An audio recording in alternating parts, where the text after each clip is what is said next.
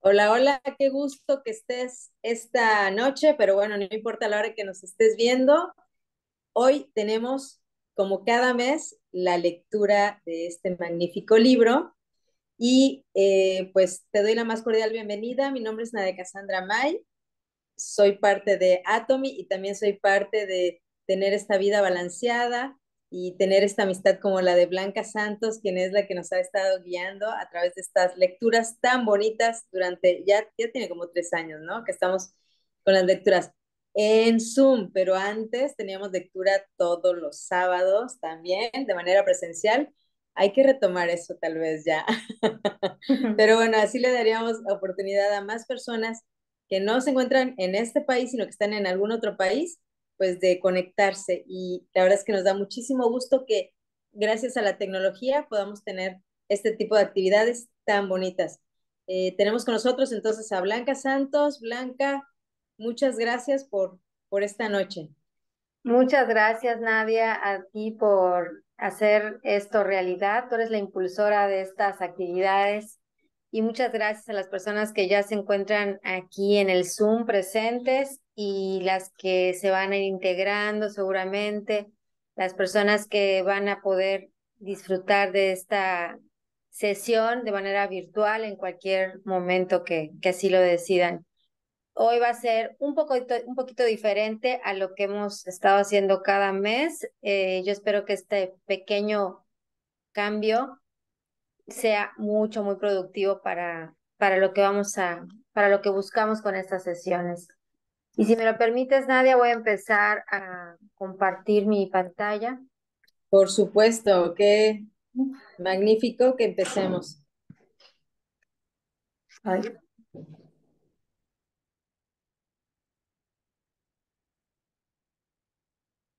Muy bien, pues ya estamos en la sesión número 8 de este año, de nuestra lectura, de nuestra sesión de coaching, lectura y ejercicio de atención consciente. Y como cada mes hemos empezado recordando cuál es el propósito, que es compartir la lectura de un libro. En este caso, para este año estamos leyendo el libro de la paradoja y estamos haciendo ejercicios de coaching ontológico a manera de reflexión y, es, y después hacemos un ejercicio de atención consciente a nuestra respiración. Todo esto con la finalidad de que contribuya a nuestro autoconocimiento. Sigamos trabajando en reconocer realmente quién somos y esto se va a ver reflejado seguramente en una mejor relación con otras personas. Pues este libro que hemos estado leyendo ya por varias, bueno, en este año, ya hoy, sesión número 8, o sea, mes número 8, La paradoja. Es un libro que no es muy extenso, realmente no tiene tantas páginas, pero lo hemos estado leyendo concienzudamente. Es decir, lo estamos eh, paladeando, lo estamos revisando las páginas sin, sin que nos brinquemos nada, es decir, estamos leyendo cada, cada sección, cada capítulo. Hoy vamos a terminar el capítulo número 2 y en este capítulo 2, que se llama El paradigma antiguo, pues es importante retomar qué es esto del paradigma para saber sobre qué estamos hablando. Cierto. A ver, Nadia, si me ayudas, te pediría que leas esta definición que aparece en el libro. Claro que sí, y también recordarles que la persona que quiera leer puede levantar la mano virtual o ahí hacernos una seña para darle la palabra. Ahorita vamos a ver eh, el paradigma antiguo recapitulando. Son patrones psicológicos, modelos que nos sirven para no perder el rumbo de la vida. Pueden ser útiles e incluso pueden salvarnos la vida si hacemos un uso apropiado de ellos. Pero también pueden llegar a ser peligrosos si los consideramos verdades inmutables que valen para todo y los usamos como filtros de la información nueva. Aferrarnos a paradigmas obsoletos pueden paralizarnos mientras que el mundo avanza. Gracias, Nadia. Entonces, esos patrones psicológicos son nuestros filtros, o sea, es decir, la manera en cómo nosotros entendemos el mundo, entendemos lo que vivimos, son nuestros modelos, nuestros parámetros. Por ejemplo, hace muchos, muchos años atrás, la ropa que, los, que las mujeres usaban y la ropa que los hombres usaban era muy diferente a la ropa de hoy en día. ¿No es cierto? Sí, sí, definitivamente podemos eh, ver el paso del, del tiempo a través de la moda.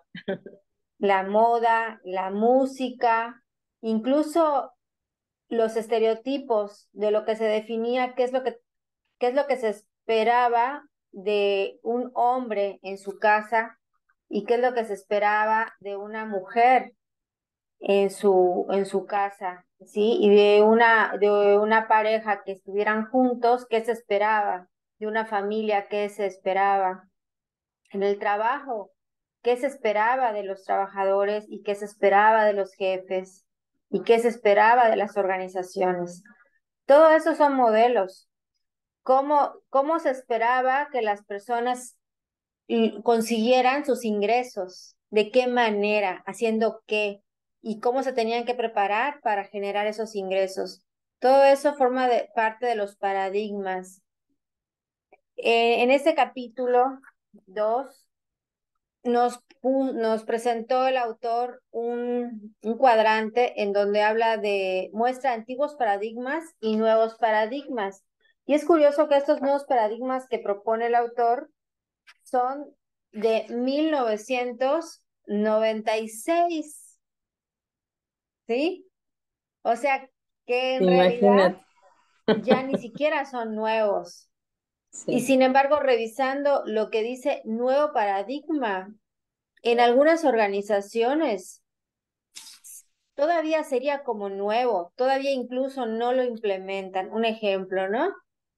Pasar de jefes o de gestión a un liderazgo, pasar de un eh, sacar el trabajo, cumplir con una mejora continua, pasar de buscar beneficios de corto plazo a los beneficios de largo plazo, ver a, las, a los trabajadores no como mano de obra, sino como asociados. Hoy día se les llama colaboradores. Cierto. Eh, el, el, ver el cambio como la constante, y no solo ver el cambio como la constante, sino hoy día en las organizaciones se impulsa a los agentes de cambio. Eso todavía es lo más, más reciente, posterior a lo que estamos viendo ahora, ¿sí? El cero de efectos, en fin, hay tanto y, y sería muy interesante que al, más adelante, conforme vayamos con la lectura y lleguemos al final de la lectura, a lo mejor retomemos un poco esto del paradigma y ver qué hay de nuevo ¿Qué, qué, qué nuevos paradigmas hay que nosotros ya estamos teniendo, rompiendo, dejando atrás viejos paradigmas? Y dentro de esos paradigmas, bueno, de lo que ese autor nos presentó la, la ocasión pasada que revisamos el material, presentaba esta pirámide. Todavía hay organizaciones que funcionan así. Arriba está el presidente, luego vicepresidentes, luego mandos intermedios, luego supervisores, luego empleados y por afuera los clientes. Y abajo de estos títulos que acabo de mencionar aparecen otros títulos marcados eh, en letra que no está en negrita y se asimila a cómo funciona en la milicia. Entonces se ve a, veces al cliente como el enemigo, o sea, que hay que convencerlo, que hay que perseguirlo, que hay que lograr que, que compre, que hay que lograr su fidelidad a costa de lo que sea. Eso es un viejo paradigma.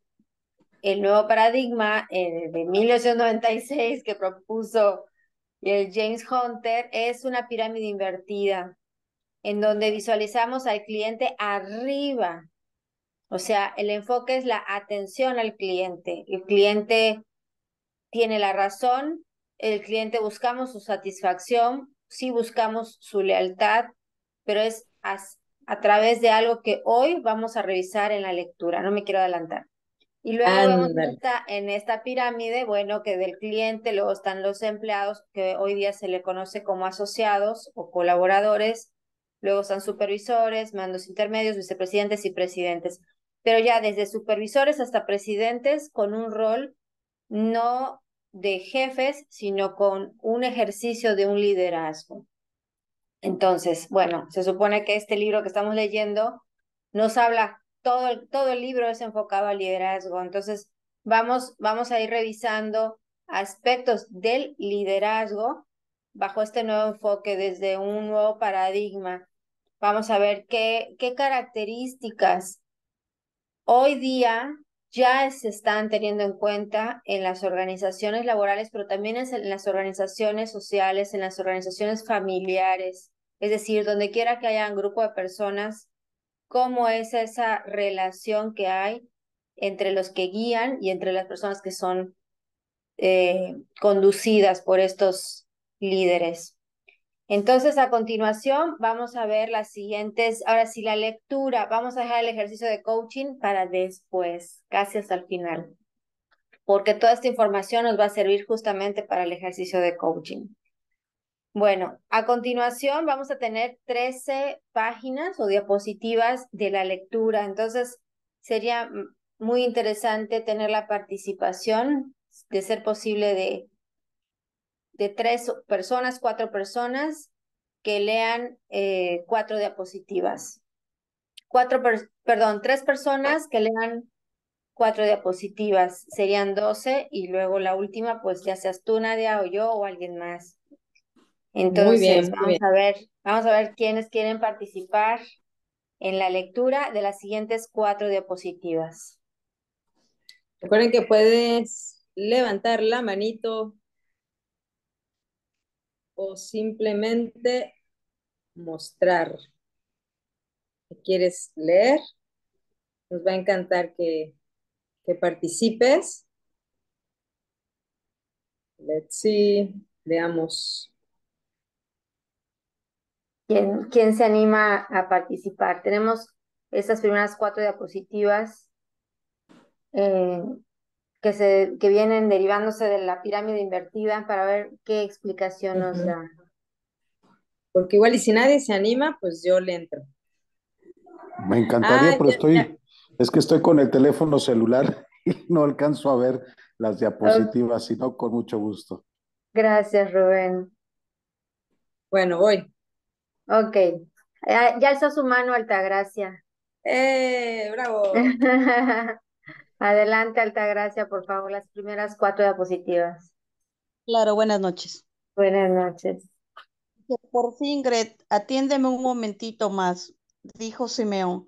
Trata de pensar en una organización enfocada a servir al cliente que está arriba del todo.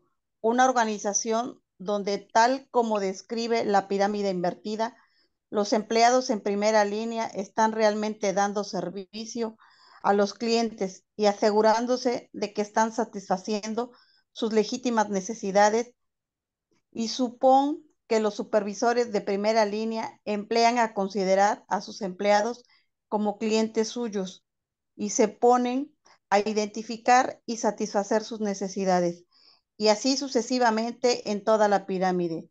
Esto obligaría a todos los mandos a asumir una nueva mentalidad, un paradigma nuevo, y a reconocer que el papel de líder no es mandar y dominar al de la casilla de abajo. El papel de líder es más bien servir. Interesante paradoja. ¿Qué pasaría si la aplicamos de arriba abajo en toda la pirámide? Tal vez podamos, al servicio de otros, sea la mejor manera de dirigir. Tal vez dirigiríamos mejor sirviendo. Yo siempre le digo a mis supervisores de departamento, medio la enfermera, que su trabajo es quitar obstáculos, quitar todas las obstrucciones que estorban a su gente en el servicio a los pacientes. Les pido que piensen que está igualando el filme de una carrera, quitando los bandenes para facilitar el paso a la gente. Me imagino, Simeón, para decirlo en tus palabras, que quitar los obstáculos sería servir a la gente.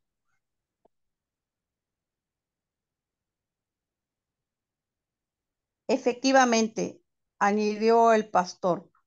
Por desgracia, hay demasiados ejecutivos que no solo quitan los obstáculos, sino que son ellos mismos un obstáculo permanente. Cuando vivía en ese mundo haciendo mucho ruido, perdón, cuando vivía en ese mundo solía referirme a ellos como ejecutivos gaviota. El ejecutivo gaviota sobrevuela periódicamente el área haciendo mucho ruido. Lo caga todo. Se puede comer tu almuerzo y luego se va volando. Creo que todos hemos topado con ese tipo de ejecutivo alguna vez. Mi jefa va incluso más allá, añadió la enfermera. Según ella, la dirección forma parte de los gastos generales. Dice que nosotros, al acceder a la dirección y dejar de servir café en los aviones, de limpiar inodoros, de enseñar a los niños en la escuela o de llevar una carretilla elevadora, ya no contribuimos al valor añadido del producto o del servicio en cuestión, sino que estamos por encima. Somos parte de los gastos generales.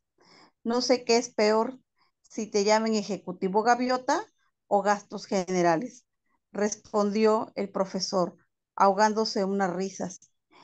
es una vergüenza que tantos líderes pierdan el tiempo ponderando sus derechos como líderes y no sus tremendas responsabilidades como líderes.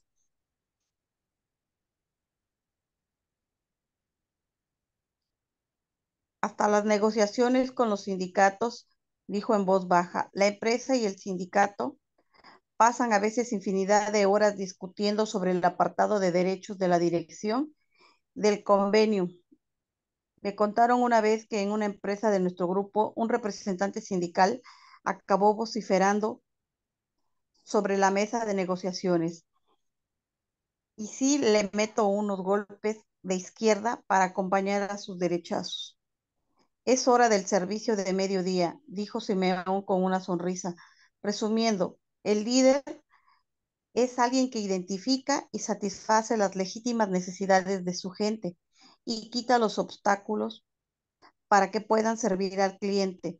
De nuevo, para ser el primero hay que servir.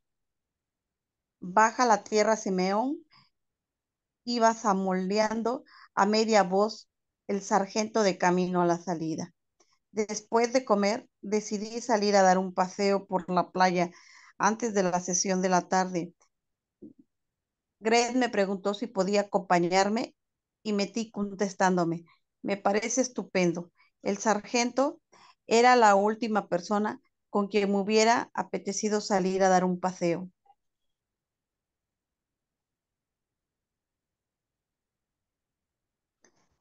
Tras andar un par de minutos en silencio, me preguntó, ¿qué opinas de todo eso del poder frente a la autoridad y estar al servicio de la gente?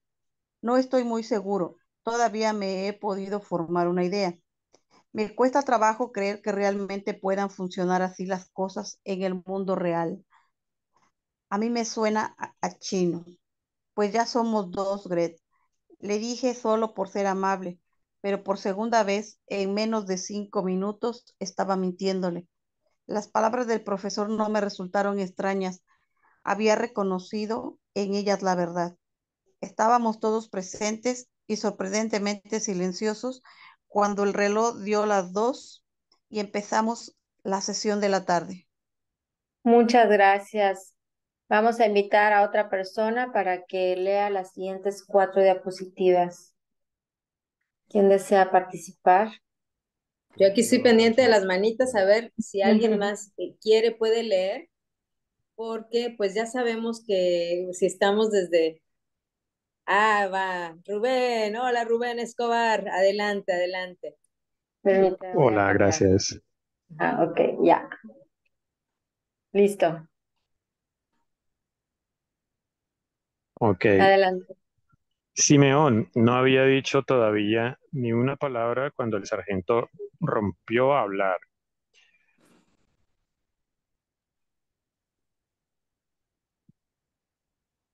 Sé que se supone que fuiste un buen líder hace años, y eso lo respeto, Simeón, pero no puedo creer que consiguieras llegar donde llegaste diciéndoles a los supervisores que hicieran lo que los empleados quisieran. Si yo intentara llevar la gestión de una empresa de esa manera que tú propones, me encontraría con una anarquía total. Puede que si estuviéramos en un mundo perfecto, tuvieras razón, pero hacer lo que la gente quiere no funcionará nunca en este mundo en el que vivimos, amigo. Lo siento, Greb, empezó a decir el profesor. Tengo la impresión de que no he dejado claro lo que significa ser servidor. He dicho que los líderes deben identificar y satisfacer las necesidades de la gente que deben servirles. No he dicho que deben identificar y satisfacer sus deseos, que deban ser esclavos.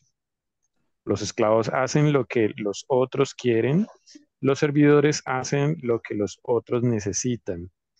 Hay una diferencia abismal entre satisfacer deseos y satisfacer necesidades.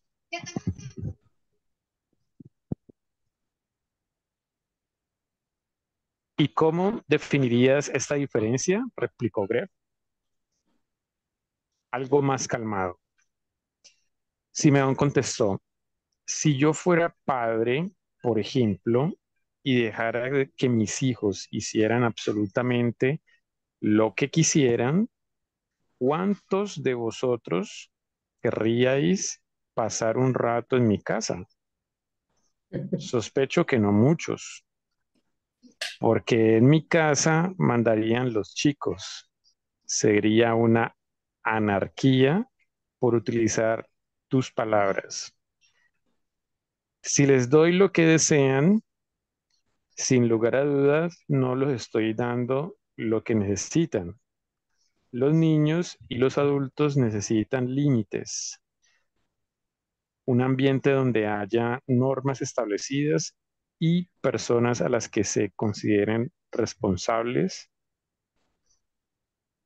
Puede que no deseen tener límites ni tener que dar cuentas, pero necesitan tener límites y responsabilidades.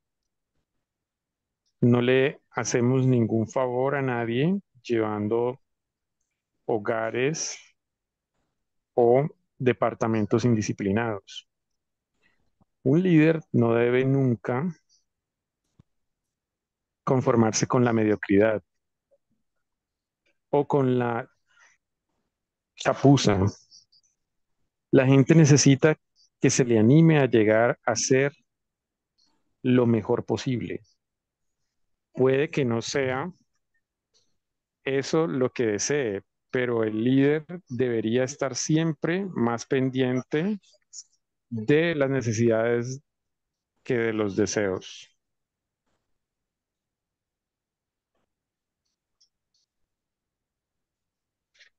Para mi asombro, sentí el impulso de hablar, así que añadí, los empleados de nuestra fábrica quieren ganar todos 20 dólares por hora. Ahora bien, si tuviéramos que pagarles 20 dólares, por hora, probablemente el negocio se vendría abajo en unos pocos meses porque nuestros competidores pueden hacer el vidrio por mucho menos. Así que al final habríamos hecho lo que los empleados quieren, pero ciertamente no lo que necesitan, que es que se les proporcione un empleo estable a largo plazo. El sargento añadió, sí, pues pensad en cómo toman sus decisiones los políticos, basándose en los últimos sondeos de opinión.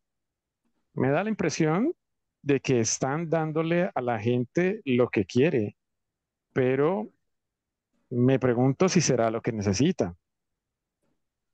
Pero, ¿cómo podemos distinguir claramente entre necesidades y deseos? Preguntó la enfermera. Un deseo, explicó el profesor, es simplemente un apetito, una apetencia que no se para a considerar las consecuencias físicas o psicológicas. En cambio, una necesidad es un requisito físico o psicológico para el bienestar de un ser humano.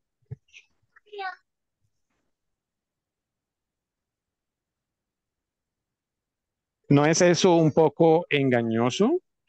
Cuestionó Kim. Después de todo, las personas no son iguales. Por consiguiente, las necesidades tampoco serán iguales, aunque sospecho que hay ciertas necesidades, como la de ser tratado con respeto, que son universales. Estoy de acuerdo, Kim, repliqué de inmediato. Mi hijo mayor, John, era un niño con mucho carácter, mientras que Sara era la hija dócil. No cabe duda de que tienen distintas necesidades y satisfacerlas ha exigido distintos estilos de educación. Esto también es válido. Perdón, se movió la diapositiva, perdón. Perdón, a ver. Tranquila. Esto también es eh, válido. Esto también es válido para el trabajo. Un, un empleado nuevo tiene ciertamente un tipo de necesidades distintas que las que tiene el que lleva 20.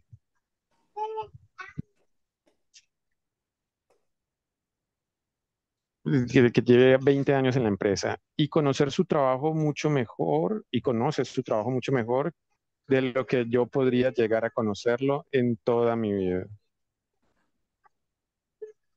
Las necesidades varían según las personas.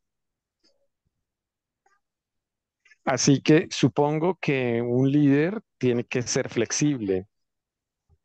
El profesor insistió, si el papel del líder consiste en identificar y satisfacer las necesidades de la gente, debemos preguntarnos siempre, ¿cuáles son las necesidades de la gente que dirijo? Sugiero que hagáis una lista de, las necesidades que tiene vuestra gente en vuestros hogares, en la parroquia, en la escuela, en cualquier lugar en que estéis al mando. Y si os quedáis bloqueados, solo tenéis que preguntaros, ¿y qué necesidades tengo yo? Creo que con eso os volveréis a poner en marcha. Muchas gracias, Rubén Escobar. Bien, ¿quién desea continuar con las siguientes tres diapositivas? Invitamos a alguien más.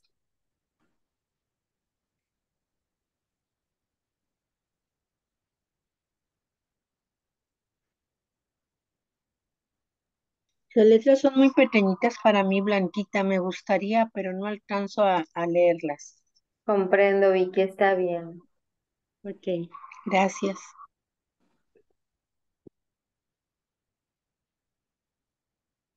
Bueno, entonces voy a continuar, dice. Bueno, dijo Greg.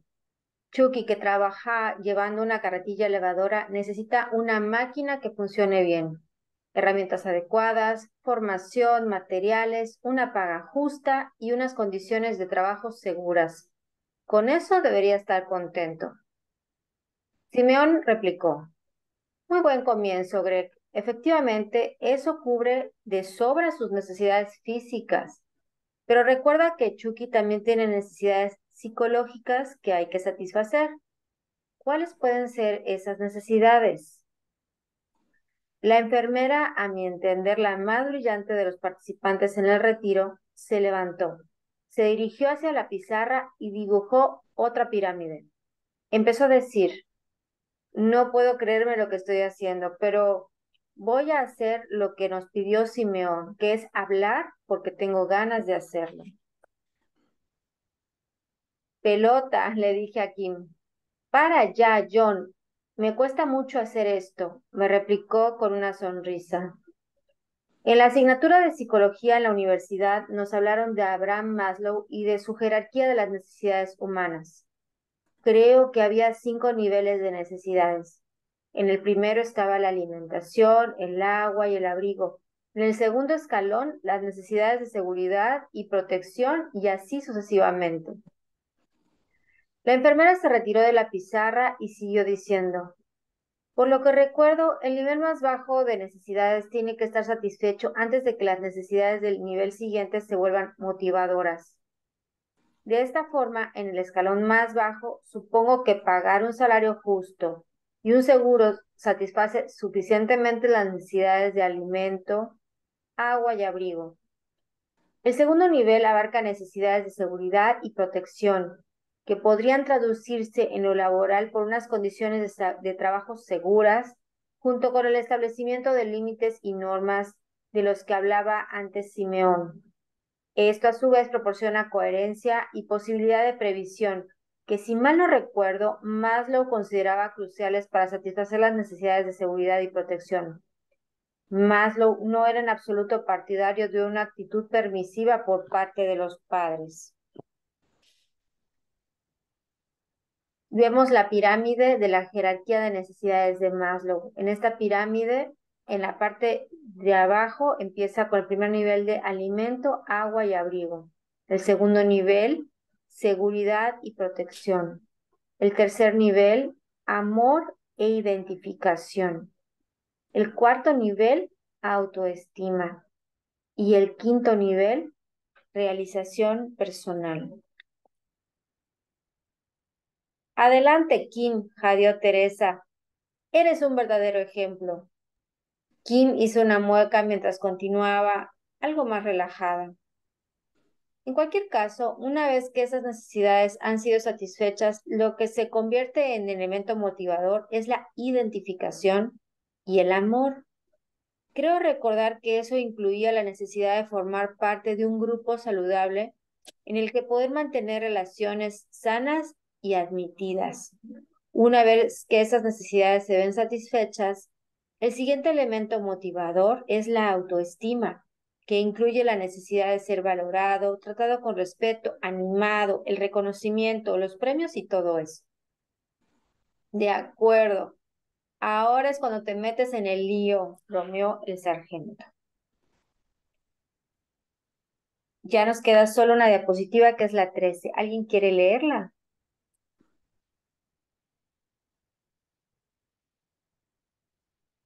Si no, continúo. Dice, voy derecha a ello, continuó la enfermera sonriendo. Una vez satisfechas esas necesidades, lo siguiente es la realización personal, que es bastante difícil definir, aunque definiciones hay muchas. Lo que yo saqué en limpio es que la realización personal consiste en llegar a lo mejor que uno puede ser o que uno es capaz de llegar a ser ser presidente de una compañía, jugar en el mejor equipo nacional o ser el mejor alumno de la promoción no está al alcance de todo el mundo. Pero cada uno de nosotros puede ser el mejor empleado, el mejor jugador o el mejor estudiante, en la medida de nuestras posibilidades. Y si no me equivoco, lo que Simeón nos está diciendo es que el líder debería empujar y animar a su gente a dar lo mejor de sí misma, me figuro que Chucky, el de la carretilla elevadora, probablemente no llegará nunca a, presidente de la compañía, pero podemos animarle y ayudarle para que sea el mejor conductor de carretillas elevadoras que puede llegar a ser. Sé todo lo que puede ser. Eso sí que te suena, ¿verdad, Greggy? Se guaseó el pastor. ¿No es ese el tema de esa canción del anuncio del ejército que nos lleva a todos nos lleva a volver locos a todos, creo que deberíamos cantársela a Greg. Levantamos la sesión cantando en, a voz de cuello la canción del ejército mientras desfilábamos por la puerta. Bueno, así ya concluimos, concluimos la lectura que está programada para el día de hoy. Y Muy bien, ya le estaba poniendo letra y música a esa, a esa canción del ejército. ¿Qué tal? ¿Qué tal? Bueno, pues con esta información que, que trata un punto medular que luego vamos a comentar, me gustaría que hagamos el siguiente ejercicio para que permitamos que esta información se quede muy concentrada en nuestro interior y pongamos atención a nuestra respiración y también vamos a poner atención a la paz, a qué ideas vienen a nuestra mente mientras hacemos este ejercicio. Brevemente, unos instantes en silencio, les pido por favor que verifiquen que su cuerpo esté en una posición cómoda, si están sentados o sentadas, de preferencia que sus piernas no estén cruzadas. Su espalda esté lo más derecha posible, su cabeza alineada con su espalda. Si estás de pie, pues una posición vertical, o sea que no haya, que no estés chueco o chueca. Y si estás acostado o acostada, lo más horizontal posible también, que no estén cruzados los brazos ni las piernas. Vamos a ponernos en una posición muy cómoda con esto que les acabo de comentar. Cerramos nuestros ojos y vamos a poner atención a nuestra respiración a partir de, de un instante que les voy a mencionar pongamos atención a la respiración y si cruzan pensamientos en nuestra mente, veamos si, si están relacionados con la lectura que hemos tenido el día de hoy. Sin embargo, es mucho mejor si logramos hacer un poco de espacio en los pensamientos y logramos mayor atención a nuestra respiración. Empezamos a la cuenta de tres. Uno,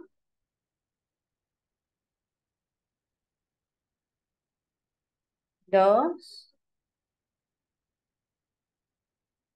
y tres.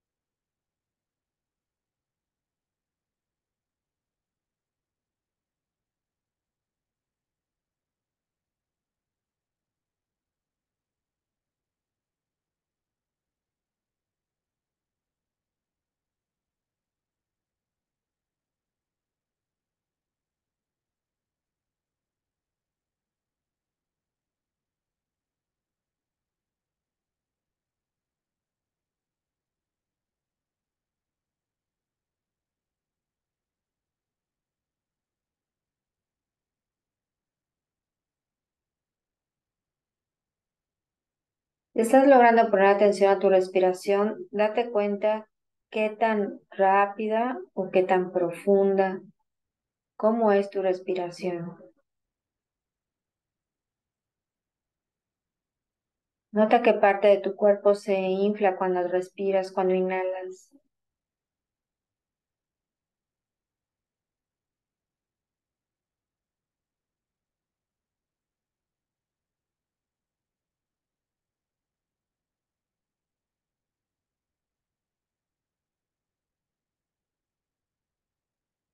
Date cuenta si este ejercicio te lleva a disfrutar o si este ejercicio te lleva a pensar, quiero continuar, quiero saber qué sigue. Date cuenta si estás en el ahora o si estás pensando en el futuro o si tu mente está en el pasado.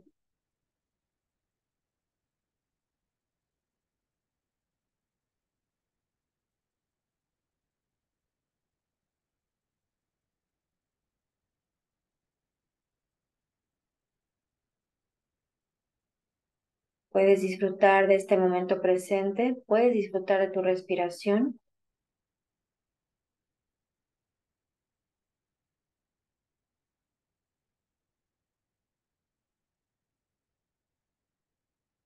Regálate tres respiraciones más profundas y al terminar puedes abrir tus ojos.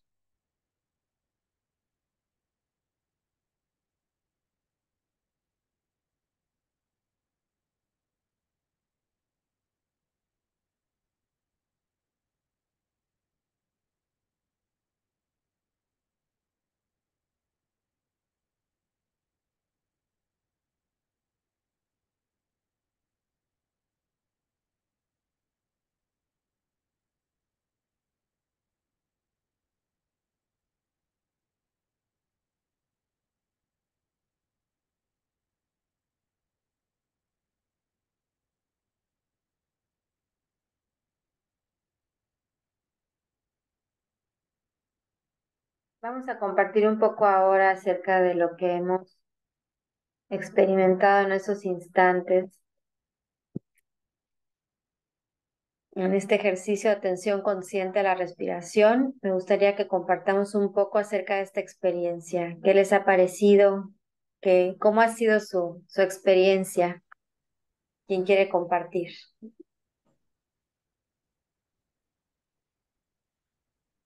Ah, Vicky, adelante. ah, Pues cuando, perdón, respiraba y exhalaba, eh, los pensamientos que tuve fue dar lo mejor de mí. Otro pensamiento que me llegó fue crecer juntos y me sentí muy en el ahora. Eso es lo que yo sentí y mis respiraciones, al hacerlas más profundas, sentía que se expandía mi abdomen, mi tórax y me llegaba más aire al a los pulmones. Y a la hora de exhalar suavemente, sentía que se contraía todo y algo subía en la parte baja de mi, de mi estómago. Me gustó, sentí mucho relax y sentí mucho confort y muchos deseos de seguir adelante. Muchas Eso gracias, Vicky. gracias Muchas gracias.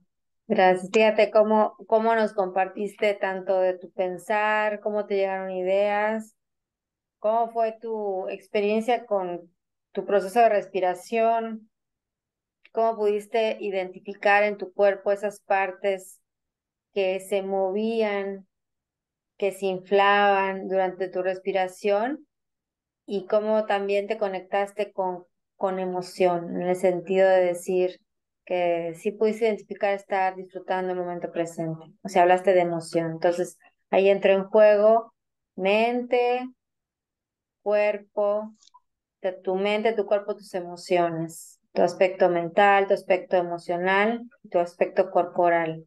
Muchas gracias, Vicky, por compartir. ¿Alguien No, más quiere compartir? Aquí no es competencia, nadie es que lo haga mejor o peor, no, o esto no es competencia, sino son experiencias, cada quien lo vive diferente y, y es muy válido como cada quien lo viva y compartir pues nos ayuda simplemente a saber cómo lo viven otras personas, ¿verdad? ¿Alguien más quiere compartir? Sí, Blanca. Rubén, Sí, buenas noches a todos. buenas noches. Este, un ejercicio muy interesante porque en lo personal estos ejercicios de respiración, de meditación, normalmente los he hecho yo en la mañana, ¿sí? Este, no, Ujú. no, no, no, no tengo la costumbre ni lo había hecho en la noche. Este, aunque también de repente en la noche me doy así como ese espacio ya en el cuarto de, eh, como que, como de resetear, de apagar el, el módem y dormir, ¿no? Pero, este, reparador, lo sentí muy reparador. Eh, mucha de la información de la lectura fue muy interesante. Eh, eh, en la mayor parte del tiempo que estuve en la, re- la respiración estuve eh, recordando todo, todo el, el tema de la lectura, que pues es un aprendizaje importante en el tema del, del liderazgo, ¿no? De qué es lo que la gente espera, ¿no? No tanto qué es lo que tú quieres eh, dar como, como líder, sino qué es lo que la gente necesita, lo que la gente espera, ¿no? Un ejercicio interesante hoy, pues en México, quienes tenemos niños, pues hoy iniciamos clases, nos paramos muy temprano, fue un día ajetreado y, este, y sí en algún momento empecé a, a- como a- a- a caer en ese sueño profundo, ¿no? Pero, pero reparador, rico, gracias. Muchas gracias, Rubén. Sí, nuestro cuerpo nos dice que necesitamos descanso, ¿verdad? Gracias, Rubén. Gracias por tu compartir. Efectivamente, eh, el, el hacer este ejercicio, cada quien lo acomoda en algún momento diferente y, y cada momento tiene su beneficio. Sí. Y no necesitamos estar solamente sentados o acostados, sino que este ejercicio lo podemos hacer mientras lavamos los platos, mientras nos bañamos, mientras mientras estamos yendo al súper, en realidad en cualquier momento lo podemos hacer, que son unos instantes nada más, ¿no? Si vamos a el poner, el, poner atención, el poner atención a la respiración, pues puede ser en cualquier momento, como dices. Yo lo empecé a practicar gracias a que tú en alguna ocasión me comentaste precisamente esto. Y yo lo que quiero compartir es que eh, de entrada, me, ahorita estoy así como lista para ir a dormirme. Estoy súper relajada y eh, gracias también a que en algún momento hiciste el comentario de en dónde estamos, estamos en el presente, en el pasado, en el futuro. Normalmente yo estoy como muy enfocada a la respiración. El día de hoy, también por, debido a la lectura, me recordó un video que vi esta mañana, no sé si conozcan a esta persona que se llama Eduardo Verastegui, que estaba hablando sobre un tema de si va a entrar a la política o no. Entonces, eh, habló precisamente de servir y dije, ¿cómo se conectó el video que vi en la mañana con el de ahorita? Eh, hablaba de servir y también hablaba de que todos dentro de un equipo, dentro de un grupo, dentro de la sociedad, somos muy buenos en algo. Y la lectura ahorita me puso otros puntos, me puso en la lectura el líder o la líder tiene que fijarse en qué es bueno alguien de su equipo y hacerlo que se expanda más. Entonces, me encantó esta parte de, la lectura y también lo conecté mucho con, con, con el video que vi esta mañana, al cual le puse mucha atención. Y hablaba pues además de, servir, hablaba de Dios, hablaba, o sea, me, conectó con muchísimas, muchísimas cosas y de verdad que este libro, a pesar de que es ya bastante, de hace muchos años, pues nos sigue aportando cosas el día de hoy. Muchísimas gracias, Blanca. Muchas gracias, Nadia. Y qué bueno que comentas esto, porque entonces vamos ya, vamos a ir ligando. Pero bueno, antes de, de ya hacer ese, esa liga, esa conexión entre el ejercicio de atención consciente y la lectura. Me gustaría saber si alguien más quiere comentar algo, alguien más quiere compartir.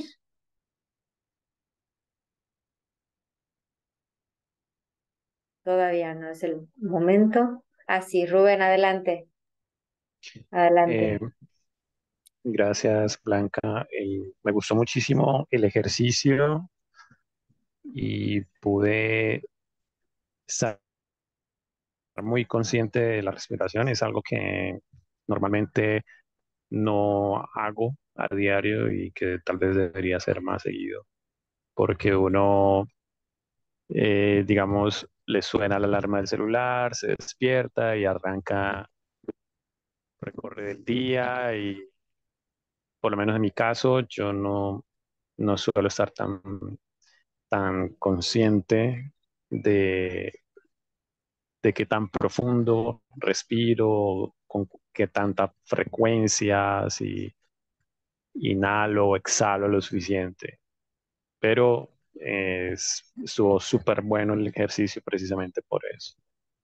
Y, y da la, da el tiempo, el, el ejercicio de respirar da tiempo para pensar justamente, reflexionar sobre la lectura, ¿no? Que es lo interesantísimo. Se conecta eh, la respiración consciente con la lectura. Uno empieza como a pensar en todo lo que ha escuchado y en todo lo que ha leído del libro y, y a, darle razón al, autor en, lo que dice. Tiene razón en cuanto a que el líder debe eh, saber qué es lo que le conviene a las personas, más no eh, satisfacer caprichos, sino simplemente saber qué necesitan las personas y, y velar porque cada uno se sienta pleno, se sienta a gusto, ¿no? Eso me parece algo súper rescatable, súper importantísimo de la, lectura y me encantó. Estuvo súper chévere el ejercicio. Muchas gracias, Blanca. Y muchas gracias a todos los que participaron. Muchas gracias a ti también, Rubén. Bueno, ¿alguien más quiere participar? Si no, ya le damos continuidad al último ejercicio. Bueno, creo que vamos a pasar al siguiente, que es de coaching, coaching ontológico. Y esta ocasión la invitación es a que reflexionemos. Esto a lo mejor no nos va a dar tiempo a hacerlo en este momento. Si quieres, tómale una foto con tu celular. Si no, con mucho gusto les compartimos esta presentación para que esta, lo que ya se leyó lo puedan volver a leer. Si quieren este, tener esta diapositiva para hacer el ejercicio, lo pueden solicitar y con muchísimo gusto se los podemos proporcionar.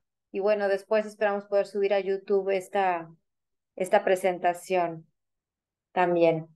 Entonces, la invitación es hacer este ejercicio, escoger algún momento hoy en la noche, mañana, mientras más pronto mejor, porque si no también volvemos a la rutina, volvemos a nuestras actividades y puede ser que nos olvidemos de poner atención a esta, a esta actividad. ¿Por qué, es, ¿Por qué es importante? Bueno, leímos hace unos minutos en el en el libro La Paradoja capítulo 2, que el líder, bueno, la propuesta es que el líder identifique y satisfaga las necesidades legítimas de, de, su, de sus colaboradores y bueno, también de los clientes.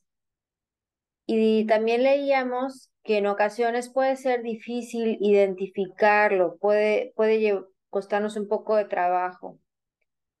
Si ni siquiera nosotros podemos identificar nuestras propias necesidades, pues más difícil nos va a ser identificar las necesidades de otras personas. Obviamente esto lo vamos a hacer a través del diálogo, a través de una retroalimentación, porque no nada más es eh, el hecho de que digamos, bueno, yo creo que la necesidad de Nadia es dormir, pero a lo mejor no, a lo mejor la necesidad de Nadia es más bien una cuestión mm, en ese momento de algo intelectual, ella quiere aprender algo, o es una necesidad de convivir más con su familia, o es una necesidad de una realización personal, ella está buscando eh, trascender a través de sus actividades a las que se dedica, en fin.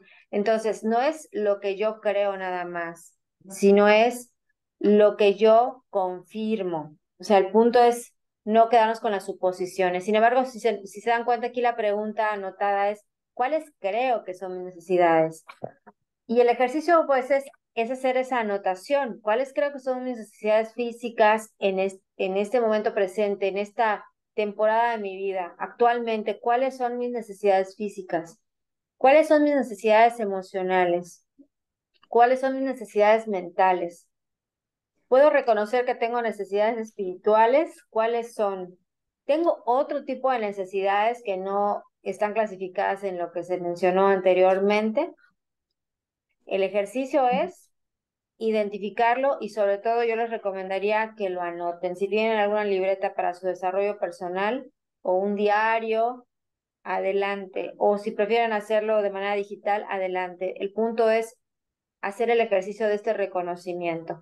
Y después, lo siguiente es, como leíamos en el libro, que hay una diferencia entre necesidades y deseos. Si las necesidades son aquellas que nos llevan al bienestar, es decir, que cuando las satisfacemos, realmente nos va a llevar a un bienestar. Los deseos, el autor nos explicaba que es más bien algo que, que nos apetece, o sea, incluso es, ni siquiera es como muy razonado, es algo que simplemente te satisface y, y, en ocasiones ni siquiera termina de satisfacer, quieres más y más y más y es algo que, que no nos lleva a un razonamiento. Entonces, una vez que ya hemos hecho el ejercicio de anotar cuáles creemos que son nuestras necesidades, pasar por este filtro. ¿Realmente son necesidades o son deseos? Ser muy honestos y honestas con nosotras y con nosotros mismos para hacer este reconocimiento. Después, preguntarnos, ¿le estoy dando prioridad a la atención de mis necesidades reales? Porque en ocasiones estamos más enfocados en atender o ayudar a otras personas. Hay que buscar ese equilibrio, porque no nada más es servir a otros o ayudar a otros, o bien enfocarnos a ciertas necesidades, o bien enfocarnos en deseos, y todo ello puede hacer que generemos un desequilibrio en nuestras vidas. Entonces, esta pregunta es cuestionarnos, ¿realmente le estoy dando prioridad a la, a la atención de mis necesidades reales, de mis necesidades verdaderas? Luego, preguntarnos, ¿puedo expresar a otras personas mis necesidades con asertividad? ¿Por qué, ¿Por qué con asertividad? Porque también puede ocurrir que tengamos ciertas necesidades que no sepamos expresarlas y que se conviertan en exigencias, se conviertan en, en egoísmos, es decir, pues es que primero necesito hacer esto para mí y no importan los demás. Entonces, ojo con esto, poder expresar con respeto, con honestidad y en el momento oportuno, que son los tres elementos de la comunicación asertiva, cuáles son esas necesidades que son válidas, que son válidas para nosotros, nosotras, y poder expresarlas no solo verbalmente, sino en nuestras acciones para que haya una congruencia. Finalmente, la última pregunta sería, ¿puedo reconocer las necesidades de las demás personas? Que eso es lo que nos conecta con lo que leímos el día de hoy. El, el líder enfocado al servicio, el líder que para, para dar ese servicio empieza por un reconocimiento de las necesidades de los demás. Pero volvamos al punto de no puedo dar lo que no tengo, entonces tengo que empezar por trabajar o, o a lo mejor ya lo estoy haciendo, es más bien como un replantearme o un volverme a cuestionar. Realmente puedo identificar mis propias necesidades, les doy prioridad, puedo expresarlas, puedo vivir eh, alineado, alineada a, a atender esas necesidades que son para mi bienestar y puedo hacer lo mismo hacia otras personas, puedo reconocer sus necesidades reales confirmarlas y puedo, puedo aportar, puedo servir, puedo ayudar a que esas necesidades se satisfagan. Bueno, pues este es el ejercicio de coaching que hoy les invito a, a que realicemos el, el día de hoy mismo, en algún rato que ustedes tengan, o bien el día de mañana o el fin de semana, en fin, cuando ustedes consideren, aquí está la invitación a realizar el ejercicio.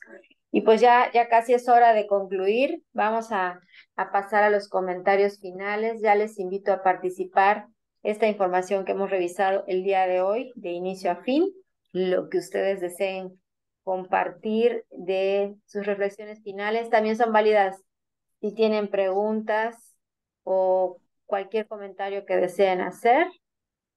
Es bienvenido. Adelante.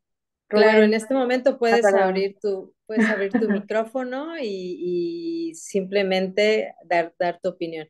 Blanca, esta herramienta que nos acabas de dar, de verdad que estoy súper agradecida. Creo que hay gente que se pasa la vida esperando o pensando eh, qué necesito o quién soy o cómo soy o, o qué estoy haciendo. Esta herramienta que nos acabas de proporcionar es valiosísima. De verdad que lo aprecio mucho y voy a hacer la tarea, voy a hacer la tarea, me encanta, me encanta. Entonces, entre las cosas que yo puedo decir es que todo lo que hemos visto el día de hoy, desde la lectura, eh, la parte de la respiración, eh, lo que vino a mi mente y este, esta herramienta de coaching, eh, pues son, son fabulosas para que nosotros mismos vayamos desarrollando nuestro interior y que vayamos creciendo para poder servir a los demás. Gracias, Nadia. ¿Alguien más quiere aportar algún comentario? Adelante, Altagracia. Sí, buenas noches. En este caso, hablar de liderazgo a mí me parece sumamente importante. Aparte, como servidores públicos, este, pues es un libro muy bonito. Tenía tiempo que yo ya lo había leído y retomarlo hoy, pues me hizo recordar lo valioso que es este libro y, y volverlo a, retomar, ¿verdad? A leerlo. Dentro del liderazgo, pues a mí me ha funcionado el personal, que muchas veces, como ahorita la pausa, debemos parar la mente o incluso cuando estamos llenos en el trabajo en un hospital, se manejan muchas emociones, muchas personas. Y a mí la experiencia que me ha dado es que no puedo respirar en ese momento, ¿verdad? Si estás en un área de urgencias, pero sí en el camino de que voy de, urgencia corriendo al laboratorio por un paquete de sangre, respiro, me tranquilizo para regresar y tomar las decisiones. Y ya regreso a ver, a ver, compañero, ¿qué vamos a hacer? Esto, el otro, y se saca todo el trabajo con el mejor de los éxitos y descubrir las necesidades de mi personal me ha ayudado bastante en cuanto antes yo, los años te van dando esa experiencia y esa madurez como persona, como profesionista. Yo veía a mis colaboradores como que teníamos que sacar el trabajo y hasta ahí, pero nunca me intentaba acercar a ellos. Hasta que eh, como que había esa barrera tanto de respeto, pero que hoy en día yo he logrado trabajarla y romperla. Me intereso por mi personal, el hecho de que ellos están doblando turno, me digan, jefa, me voy a quedar a doblar turno. Bueno, ya reciba tal lugar, ¿no? Y ya le pregunto como a la media hora, doña Rosita, ¿ya comió usted? No, jefa, porque estaba entregando en el piso y bajé corriendo aquí a urgencias que me voy a quedar a doblar. Bueno, vaya usted a comer y ahorita vemos lo de sus pacientes. Aquí los vigilamos o algo. Ya regresa ella muy contenta. Este jefa, ya, ya comí. Y ya empieza a trabajar, ¿no? O a veces el hecho de preguntarles este, si llega tarde. A lo mejor yo doy por sentado no decir que una persona, no suponer que una persona sea irresponsable. A lo mejor llegó tarde porque tiene un hijo enfermo y entonces tú te haces más empática y le preguntas, ¿qué pasó? Este, ya, si no es que mi hijo tiene calentura, algo, dos, tres días después, tú le preguntas, doña Rosita, ¿cómo sigue su hijo? Y ella voltea y dice, muy bien, jefa, fíjese que esto, que el otro. O sea, tenemos que darnos esa pausa también para cubrir las necesidades, qué es lo que les está quejando a ellos. Porque antes de ser, este, pues, diversas jerarquías, los rangos, pues somos personas y tratamos con seres humanos y si no logramos identificar una necesidad, esa necesidad nos puede llevar a un conflicto, a no tener un ambiente laboral agradable. Entonces creo que tomar esas pausas de respiración, pues es muy importante como líderes y también en los mismos este, trabajadores. Creo que también nos hace falta mucho dentro del liderazgo que a lo mejor hubiera algunos cuartos donde la gente pudiera desconectarse un poquito, un minuto del trabajo, ir a sacar una emoción que traiga o ir a relajarse, a respirar un rato, a ir dos, tres minutos de música en esa pausa y volver a regresar. ¿Para qué? Para volver a nuestro ahora. Muchas veces es necesario aquietar la mente para descubrir muchas cosas. Y pues como líderes, todos somos líderes desde ser una ama de casa, en un club deportivo, en un ambiente laboral, pues tenemos que cubrir muchas necesidades y afortunadamente pues existen libros de autoayuda, personas o líderes en este caso como Blanquita que nos guían a hacer todos estos procesos de una manera más simplificada. Llevar la lectura, pero aplicarla más que nada. Eso sería todo mi comentario. Muchísimas gracias, Altagracia, a todo corazón, muchas gracias. ¿Alguien más? Buenísimo, nos, acaba, nos acaba de dar una cátedra de, de amor Así, así lo siento, Altagracia. Estoy súper agradecida por esos comentarios que hiciste. Gracias. Y, y, también el hecho de cómo aterriza la información teórica a algo muy práctico, porque de eso se trata, ¿sí? Autores hay muchísimos y, y la lectura es hermosa, pero lo mejor es cuando esta información logramos entender cómo la puedo aplicar y cómo puedo con ello guiarme yo y poder, si me toca ese papel, como dice Altagracia, ahora sí que a todos de, alguna, de una u otra manera nos toca ser guías de otros, dirigir a otros. Entonces, hacer ese liderazgo con un enfoque, con, con hacerlo con el corazón, hacerlo enfocado al servicio, con empatía, con asertividad, porque todo ello va a traer un resultado muy positivo al hacerlo de esa manera. Entonces, no es solo teoría, sino aquí de lo que se trata es una práctica.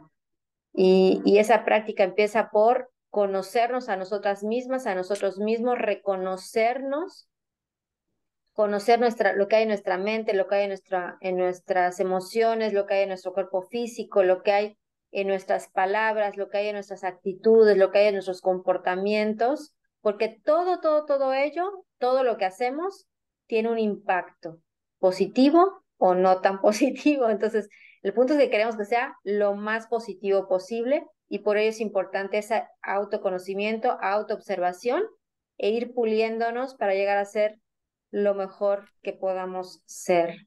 Simplemente ser quien, ese maravilloso ser que somos, que a veces con los paradigmas viejos, con las creencias viejitas, pues a lo mejor está opacando ese maravilloso ser que de por sí ya somos y que solo que hay que redescubrir.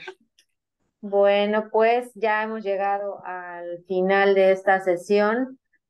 Recordarles que Bueno, nosotros, Nadia y yo, y bueno, Rubén también, Vicky también, formamos parte de Atomy, Altagracia también es miembro Atomy. Esta organización que tiene este lema que dice apreciar el espíritu, seguir sobre la fe, gestionar la visión y por último dice servir con humildad, que eso se alinea a lo que el día de hoy estuvimos leyendo en la paradoja. Por mi parte, darles las gracias. Esta sesión me pareció sumamente linda, todos los comentarios, todo lo que, lo que se aportó, lo que compartimos, las personas que pudieron estar hoy presentes y, y las que se conecten en diferido, pues también va a ser muy lindo si nos quieren dejar algún comentario nos pueden seguir también en las redes sociales. Estamos en arroba atomi-bienestar-hb. Y también, bueno, su servidora, estoy en Instagram y en Twitter en arroba blancasanto74 y mi blog es blancasanto74.blogspot.com. Y bueno, estamos para servirles. Por mi parte, solamente darle las gracias y te dejo, Nadia, con las palabras finales.